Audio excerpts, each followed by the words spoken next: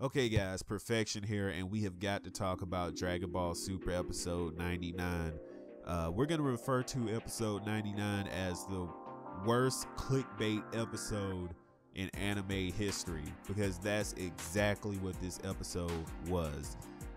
Episode 99 was such a waste of time, and it was so bad, even for Dragon Ball Super standards, which you know, Dragon Ball Super is basically the Dragon Ball evolution of the animated series. This episode was so bland, so boring, so clickbaity. All the the, the leaks, the, the the descriptions, the synopsis, all the, the, you know the title talking about Krillin realizing his hidden potential or something like that and then you get to this episode and they made Krillin look like a complete idiot this whole episode was boring and I just don't know what to say let's let's let me explain first of all the main bit that we have to talk about is the fact that Krillin not only they, they said that he was going to get disqualified so everyone assumed that in order to get disqualified in a tournament, he must have had to kill somebody. Like maybe he used uh, the Destructo disc to cut someone in half because they were tormenting 18 or something. We thought something, we tried to give them the benefit of the doubt and, and assume that they would do something cool. There was no threat of disqualification in this episode at all whatsoever. There's two points where they could have uh, potentially disqualified him. One is where he gave 18 some sunglasses, which everyone thought that that, that might have been what they were going to talk about, or the fact that Krillin he didn't fly. He blasted himself back in the ring to go and save uh, Android 18. So those were the two points that they possibly could have talked about clearly getting disqualified. But Neither did Zen- neither the Zenos nor did the Grand Priest even threaten to disqualify him. So this was the most clickbaity episode. None of the, it was it it was terrible.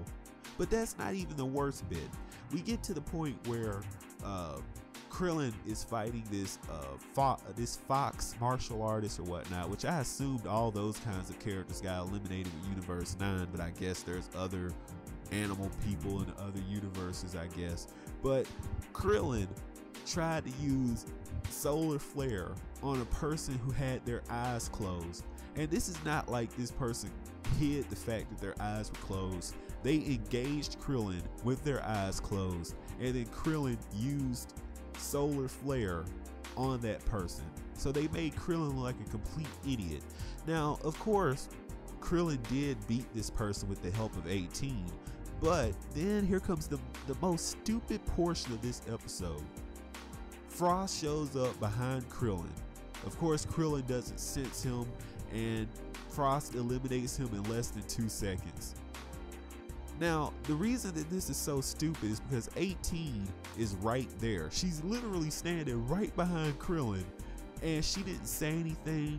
It was, it, it, it was no, like, how, how, does that even happen? She's standing right there and she doesn't try to alert Krillin. She doesn't try to stop Frost.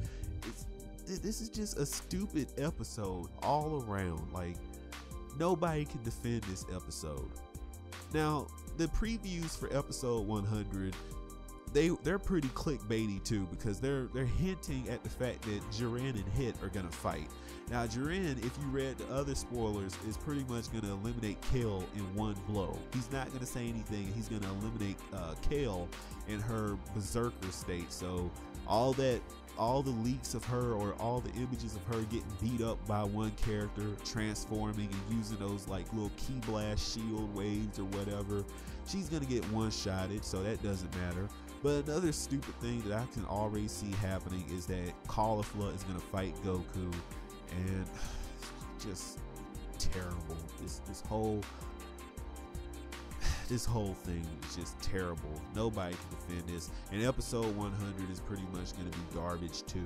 I started not to even review this episode, or uh, you know, and you notice that I've been like putting the episode reviews on the back burner because there's pretty much nothing to talk about. They're all straightforward and they're pretty much boring plots and pretty much it's it's just terrible what's happening to Dragon Ball Super right now. I I don't know what to say. Like I didn't I